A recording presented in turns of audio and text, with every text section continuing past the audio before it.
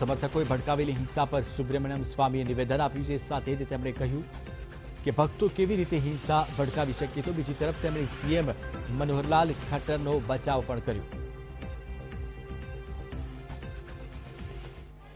तो सरकार अपनी कार्रवाई कर रही है वो पंद्रह साल पुराना एक लड़की ने चिट्ठी लिखी थी अटल बिहारी वाजपेयी को और उस चिट्ठी में उन्होंने ऐसे डिटेल्स दिए हैं तो केस हुआ अब केस पंद्रह साल के बाद फैसला होता है।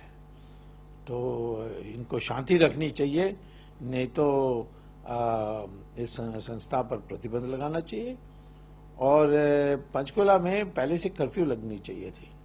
आज भी कर्फ्यू लगनी चाहिए ताकि अब तो आज तो वीडियो कॉन्फ्रेंस में होला हुआ है। तो मैं समझता हूँ कि जो कानून भंग करते हैं या विधि को में यानी उथल पुथल पैदा करते हैं तो उनके उनके खिलाफ तो कड़ी कड़ी से कड़ी कार्रवाई करनी चाहिए।